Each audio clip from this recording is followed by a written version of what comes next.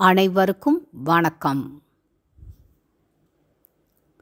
நம் தமிழ் மாநில பாஜக தலைவர் திரு அண்ணாமலை தன் தாமரை சொந்தங்களுக்கு எழுதிய நூற்றி இருபத்தி ஒன்பதாவது கடிதம்.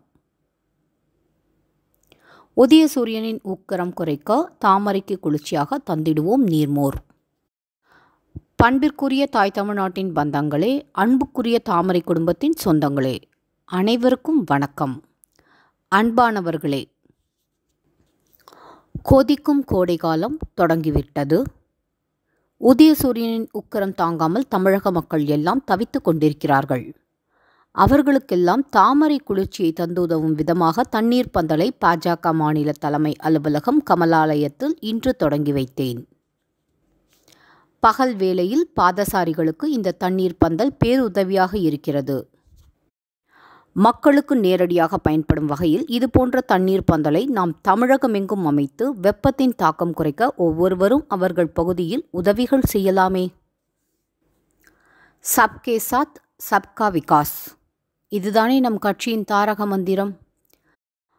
கொரோனா பேரிடர் காலத்தில் மக்களுக்கு செய்த நேரடி உதவிகள் அவர்களை நமது கட்சி நெருங்கிச் செல்ல வாய்ப்பாக அமைந்தது. மக்களும் உரிமையுடன் நாம் கண்டிப்பாக உதவிகள் செய்வோம் என்ற நம்பிக்கையுடன் நம்மை நாடி வந்தார்கள். அதுபோல இந்த நீர்மோர் பந்தல் அமைக்கும் நற்பணியையும் நாம் விரைவாக மேற்கொள்ள வேண்டும். இன்னும் அகலாது இருக்கும் கோவிட் நைன்டீன் நோய் தொற்றை மனதில் வைத்து மத்திய மாநில அரசுகளின் பாதுகாப்பு வழிகாட்டு விதிமுறைகள் எல்லாம் கருத்தில் வைத்து சுகாதார முறைப்படி இந்த தண்ணீர் பந்தல் அமைக்கும் பணியை நாம் மேற்கொள்ள வேண்டும். பொதுமக்களின் உடல் நலத்தையும் சுகாதாரத்தையும் கருத்தில் கொண்டு தூய்மையான முறையில் நீர்மோர் தயாரிக்கப்பட வேண்டும். பருகும் தண்ணீர் குப்பிகள் மறுமுறை பயன்படுத்தப்படாமல் ஒருமுறை பயன்படுத்துவது போல் அமைந்திருத்தல் வேண்டும்.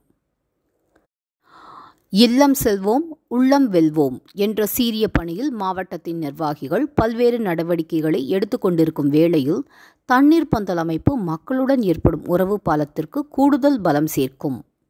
நன்றி வணக்கம். அன்பு சகோதரன் உங்க அண்ணா.